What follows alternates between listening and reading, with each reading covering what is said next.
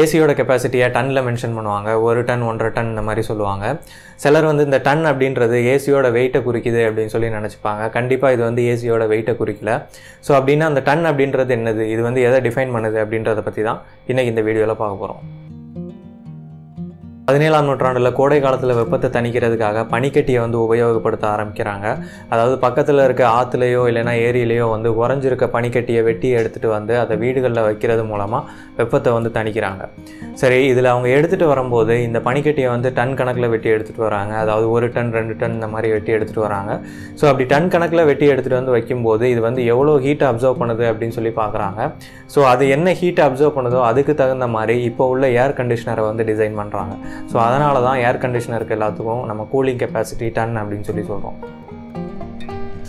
இதெல்லாம் நம்புகிற மாதிரியா இருக்குது பக்கத்தில் இருக்க ஆற்றுலையோ ஏரியிலையோ வரைகிற அளவுக்கு அட்மாஸ்பியர் இருந்துச்சு அப்படின்னா அதே அட்மாஸ்பியர் தான் நம்ம வீடுகள்லையும் இருக்கும். ஸோ அப்புறம் ஏன் அதை ஐஸ் கட்டியை வெட்டி எடுத்துகிட்டு வந்து நம்ம வீட்டில் வைக்கணும் அப்படின்ற ஒரு கேள்வி எழுது.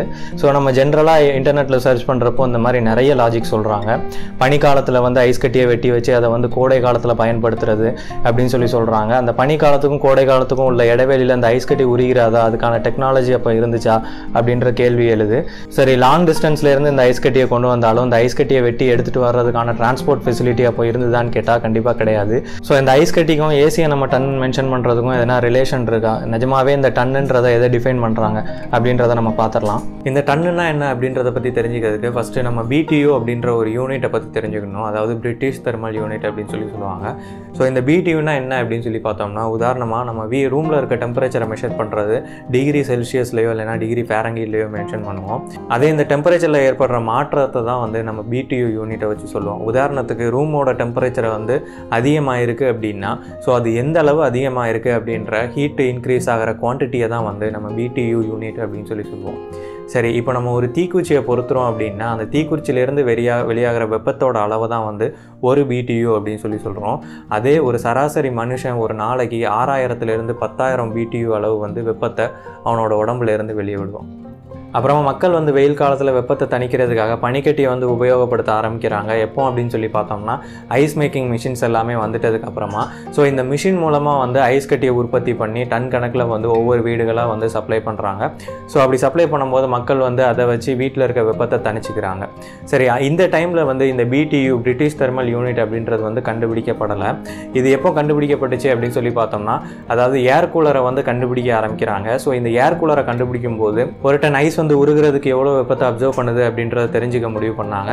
ஸோ அப்போ தான் வந்து இந்த பிடியூ அப்படின்ற ஒரு யூனிட்டை வந்து கொண்டு வராங்க ஸோ இந்த யூனிட் மூலமாக ஒரு டன் ஏசி ஒரு இருபத்தி நாலு மணி நேரத்தில் எவ்வளோ பிடியூ அதாவது எவ்வளோ வெப்பத்தை அப்சர்வ் பண்ணுது அப்படின்றத கண்டுபிடிக்கிறாங்க.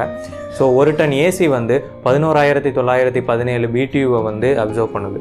சரி இந்த ஃபேனு அப்புறமா ஏர் கூலரு அப்புறமா ஏர் கண்டிஷனர் அப்படின்னு சொல்லி ஒவ்வொன்றா அப்கிரேட் ஆகிட்டே போகும்போது இந்த டன் கணக்கில் உள்ள இந்த பிடியூ வேல்யூவை வந்து அப்படியே மெயின்டைன் பண்ணுறாங்க ஆயிரத்தி தொள்ளாயிரத்தி பதினேழு பிடியூவை வந்து ரவுண்ட் ஆஃப் பண்ணி பன்னெண்டாயிரம் பிடியூவாக மாற்றுறாங்க ஸோ இப்போ எப்போ ஏர் கண்டிஷனர் கண்டுபிடிக்கிறாங்களோ அந்த டைமில் வந்து அதாவது ஒரு மணி நேரத்தில் இந்த ஏர் கண்டிஷனர் பன்னெண்டாயிரம் பிடியூவை வந்து ரூம்லேருந்து வெளியேற்ற செய்யணும் அப்படின்ற மாதிரி டிசைன் பண்ணுறாங்க அதனால தான் ஒரு டன் ரெண்டு டன் அப்படின்னு சொல்லி நம்ம ஏர் கண்டிஷனரை சொல்கிறோம் ஸோ ஒரு டன் ஏர் கண்டிஷனர் அப்படின்றது இது ஒரு மணி நேரத்தில் பன்னெண்டாயிரம் பிடியூவை வந்து நம்ம ரூம்லேருந்து வெளியேற்றக்கூடியது ஸோ இந்த கூலிங் கெப்பாசிட்டியை சூஸ் பண்ணும்போது நான் ஆல்ரெடி சொல்லியிருந்தேன் ஒரு மனுஷன் வந்து உடம்புல ஆறாயிரத்துலேருந்து பத்தாயிரம் அளவு வீடியோவை ஒரு நாளைக்கு வந்து வெளியேற்றுறான் ஸோ அப்படின்ற போது இந்த ரூமோட சைஸை பொறுத்தும் ரூமில் ஆல்ரெடி இருக்கிற ஹீட்டை பொறுத்தும் ரூமில் எத்தனை பேர் இருக்கிறாங்க அப்படின்றத பொறுத்தும் தான் இந்த கூலிங் கெப்பாசிட்டி அப்படின்றது அமையும். இவ்வளோ தான் அந்த வீடியோ அந்த வீடியோ உங்களுக்கு பிடிச்சிருக்கும் புரிஞ்சிருக்கும் அப்படின்னு சொல்லி நம்புகிறேன் இன்ஜினியரிங் ஃபேக்ட் சேனலுக்கு சப்ஸ்கிரைப் பண்ணுங்கள் தேங்க்ஸ்